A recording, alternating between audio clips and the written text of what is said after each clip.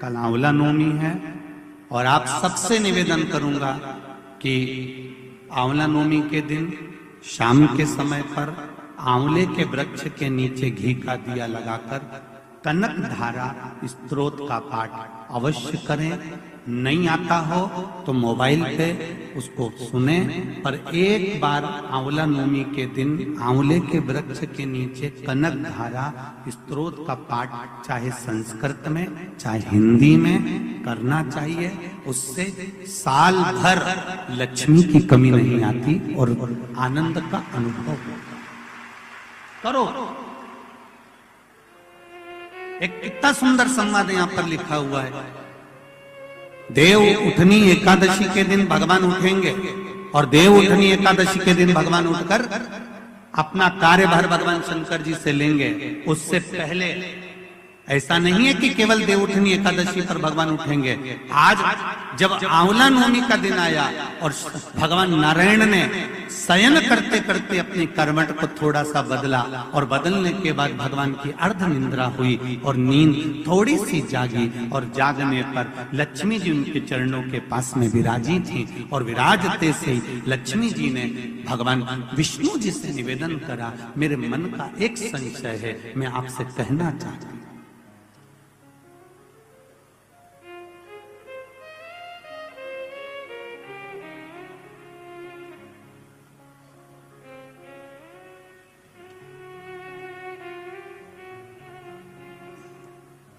हूँ ये हमारे मन का भाव है कि हम भगवान को देव सोनी एकादशी पर सुलाते हैं और देव उठनी पर उठाते हैं। पर हमारी श्रीमद भागवत कथा कहती है, शिव महापुराण की कथा कहती है, अग्नि पुराण, पद्म पुराण, नर्मदा पुराण, हमको वर्णन करती है, एक क्षण की निंद्रा ब्रह्मा जी को आई थी। और ब्रह्मा जी की झपकी एक क्षण की लगी थी और हाथ से वेद नीचे गिर गए थे। वेद नीचे गिरे हयग्रीवा ने धारण कर लिए और चारों तरफ़ पानी पानी हो गया और पूरी पृथ्वी पानी में, जल में मग्न होने लगी। जरा विचार करिएगा, एक क्षण की निंद्रा ब्रह्मा जी को आई और वेद हाथ से चले गए और पानी पानी हो गया और हम कहते हैं कि देव सोनी एकादशी पर देवता सोते हैं और देव उठनी पर उठते हैं। अगर चार, छह महीने जम के अगर वो सो गया तो एक नहीं दिखेगा भीकण गाँव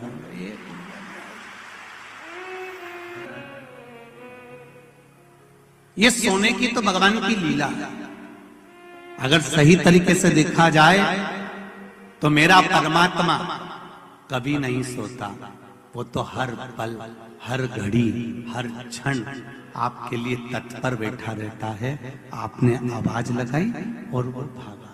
देव सोनी एकादशी पर भगवान सोए और देव उठनी एकादशी पर भगवान उठ रहे हैं। उससे पहले जो आंवला नवमी आई, इसको अक्षय नवमी कहा जाता है। इसको आनंद की नवमी कहा जाता है। भंडार भरने वाली नवमी कहा जाता है। उस दिन दिया गया करा गया, पुण्य समाप्त नहीं होता। इसलिए इसको अक्षय नवमी भी कहा जाता है। तो लक्ष्मी जी के मन में भाव उत्पन्न हो गया। लक्ष्मी जी ने कहा, प्रभु, मेरे को पूछना है आपसे कुछ। मेरे मन का संशय मिटा दीजिए। तो भगवान ने पूछा, वो संशय कौन सा?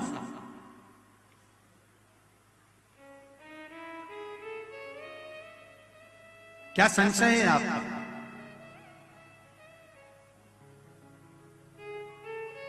मेरा संशय केवल इतना सा है, क्या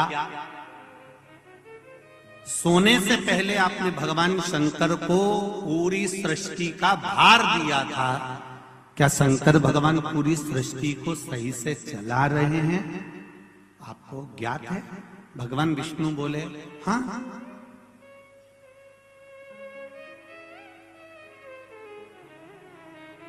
चला रहे संशय मिटा दो? भगवान ने कहा, कौन सा संशय? मुझे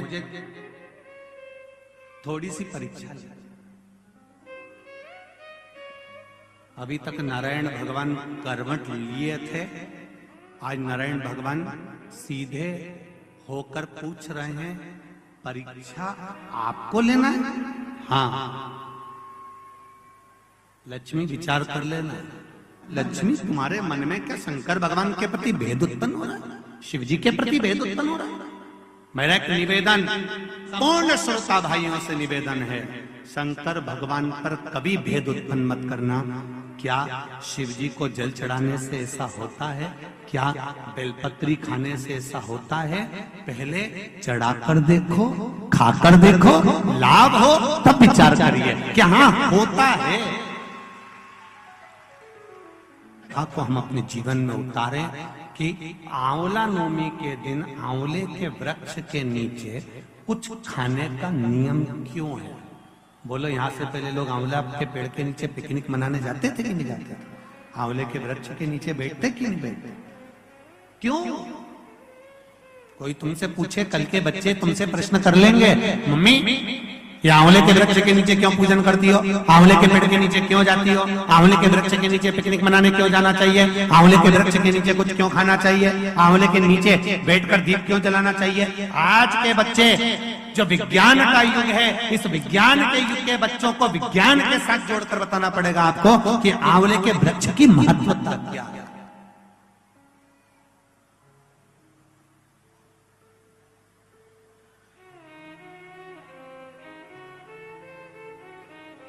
जिस जगह पर आंवले का वृक्ष होता है, उस आंवले के नीचे बेकुंठ का निवास होता है। इसलिए भोजन आंवले के वृक्ष के नीचे कल आंवला नोमी है।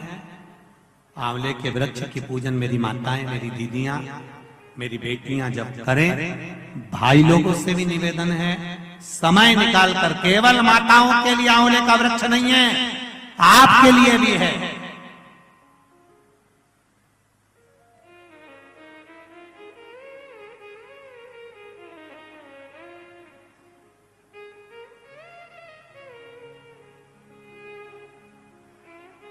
और मेरी माताओं से निवेदन, आंवले के वृक्ष के नीचे पूजन करने जाओ रे पत्ती भी अगर पड़ी हुई है तो उसको भी थोड़ा सा उठा कर लिया ना। अगर घर का कोई व्यक्ति नहीं गया होगा तो उसको मस्तक पर घर में ही वो पत्ती लग जाएगी तो बेकुंठ का भाव तो उसके पास तक पहुँच जाएगा, उतना भी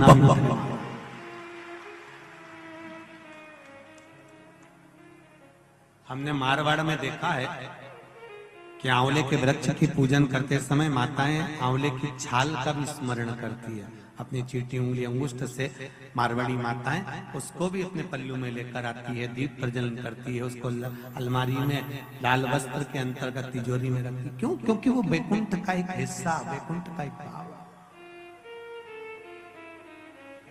ब्रह्मदेव करें, आंवले के वृक्ष के नीचे शंकर भगवान भोजन कर लें तो बैकुंठ के भोजन का फल मिलता है। बैकुंठ के भोजन का फल?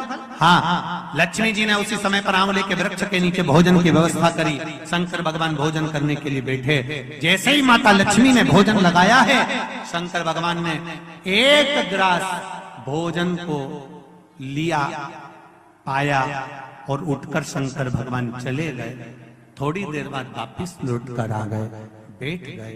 पूछा महारानी ने माता लक्ष्मी ने मेरे शंभु, मेरे बाबा, मेरे भोलेनाथ, मेरे प्रभु, कहाँ चले गए थे आप भोजन की थाली को छोड़कर? तब शिव जी कहते हैं, कोई चार संत भूखे रह गए थे, उनको भोजन कराने चला गया था। लक्ष्मी जी ने कहा, आप सृष्टि के सही संचालन कर रहे हो। मैं जान गई आपको कि आप सृष्टि के सही संचालन करता हो। एक मन की अभिलाषा है, अगर आप पूरी कर दें तो। एक मन की अभिलाषा है, आप अगर पूरी कर दे तो। शिवजी ने पूछा, क्या मेरा मन है? आप अगर ब्रह्म मुहूर्त में सुबह का समय भोजन ग्रहण कर रहे हैं तो शाम का भोजन भी मेरे ही इस बैकुंठ में श्रवण, भोजन ग्रहण करें। शिव जी ने कहा, शाम को तो मैं पार्वती के साथ भ्रमण पर निकलता हूँ, पर दोपहर के समय पर मैं आपके यहाँ भोजन करने फिर आऊँगा। अब की बार लक्ष्मी जी ने भोजन कराने बैठने से पहले माता लक्ष्मी ने पाँच चीटियों को एक डब्बी में भरकर बंद कर दिया।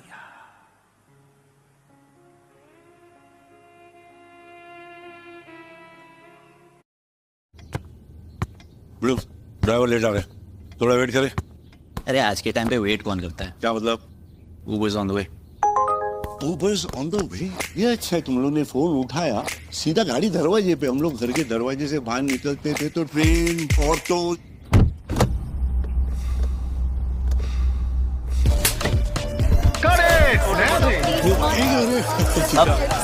टेंशन मत ले बेटा इनको दिन के धक्कम दुखी से तो अपन पक्का बनेला है बाबा क्या रे इतनी धूप भी पिघल गई क्या? तेरा बाप ऐसे धूप में तब तब के सोना बना। आह। इतना महँगा? भाई शपथ। एक एक पाए जमा करके तेरे बाबा ने समझा? लाइफ में स्ट्रगल होना चाहिए। स्ट्रगल तो बहुत है डैड। लाइफ में काफ़ी स्ट्रगल है पर बाकी सबके लिए उबर है। Uber let's go Interview starts in five minutes. Neil is learning through LinkedIn from someone who's done it before. I've sat on both sides of the interview table. I've learned what to do, but also what not to do. I've interviewed professionals and leaders for more than a decade. And now, I'm taking just a minute to share what I've learned with Neil. Here's how you can make a lasting impression in your next interview. Learn from those with experience. LinkedIn.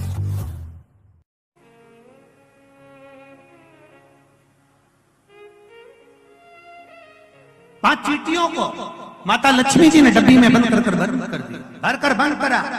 Shiv जी भोजन करने बैठे। बड़े प्रेम से भोजन पा रहे भोलेनाथ, और आवाज़ लगाया भोलेनाथ जी ने अरे लक्ष्मी, तुम्हारी माता ख्याति देवी मुझको ऐसी भोजन कराती थी।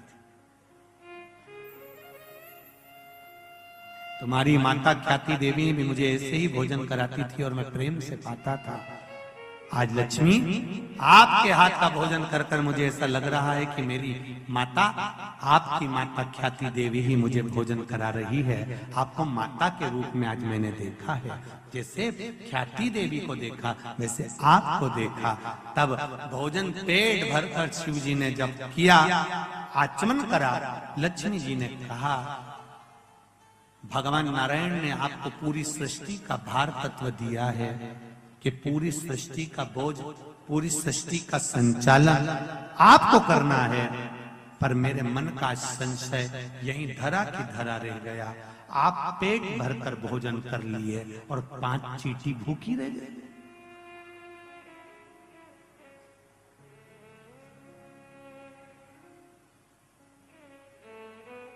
पाँच चीटियाँ भूखी है? शिव जी मुस्कुराकर बोले अरियो लक्ष्मी, कौन कहता है कि पाँच चीटी भूखी? कहा है चीटियाँ? लक्ष्मी जी कहती है, डब्बी में मैंने चीटी बंद कर कर रखी पाँच चीटियाँ भूखी है, और आपने भोजन किया? जब भगवान विष्णु ने अपनी सृष्टि का भार आपको दिया था तो बिना उनको भोजन कराया आपने भोजन कैसे कर लिया देवरी देव महादेव?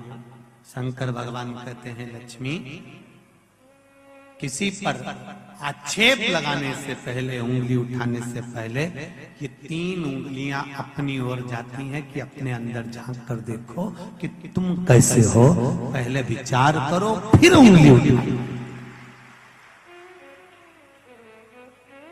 लक्ष्मी जी, पहले डब्बी में जो चीटियाँ हैं, उनसे पूछो, उनने भोजन किया कि नहीं किया?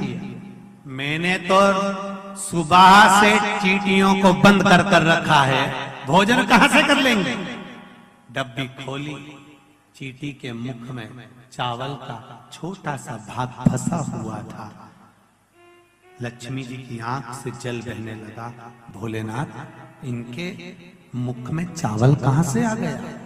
शिव जी ने कहा, लक्ष्मी, तू जब चीटियों को बंद कर रही थी ना तो तुझे दोष ना लगे। इसलिए तूने चीटियों के चरण को धोख लगाया था कि मेरे साथ परीक्षा में तुम शामिल हो जाओ। मेरे साथ थोड़ी देर के लिए तुम डब्बी में बंद हो जाओ। माना तुमको कष्ट होगा, इसलिए मैं सिर झुकाकर तुमको नमन करती हूँ, क्षमा मांगती हूँ। जब तू क्षमा मांग रही थी, तेरे कुंकू में जो चावल फंसा था, क्षमा मांगते समय डब्बी में गिर गया था। वो चावल चीटियों ने ग्रहण करा। वो अक्षत वो वो चावल चीटियों ने ग्रहण किया।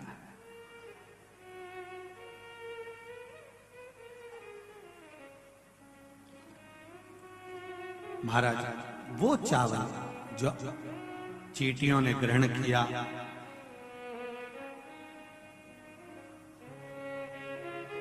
बस चीटियों का भोजन पहले हुआ है। लक्ष्मी जी की आँख से जल दे रहा है और रो रही है।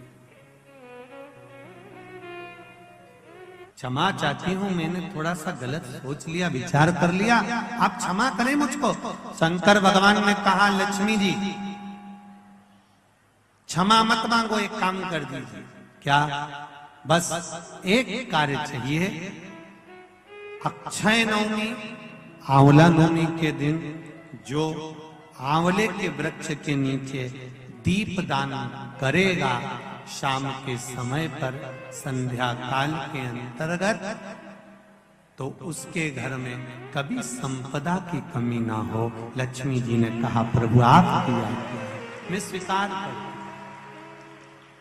मैं स्वीकार करता जितने भी लोग कथा श्रवण कर रहे हैं और जो लोग नहीं सुन पा रहे हो इस कथा की एक छोटी सी बात जनमानस तक पहुंचाइए कि आंवले के वृक्ष के नीचे आंवला नवमी के दिन शाम के समय दीप दान अवश्य करें जिससे आपके जीवन में खुशियाँ समाहित हो जीवन में आनंद की अनुभूति हो। जीवन का सुख प्राप्त। आंवला नवमी के उपाय आंवला नवमी 10 नवंबर को आप सब भी आंवला के पेड़ के नीचे जाकर आंवला नवमी की पूजा करें। आंवला नवमी आंवला की पूजा करें। प्लीज़ मेरे चैनल को लाइक करें शेयर करें सब्सक्राइब करें।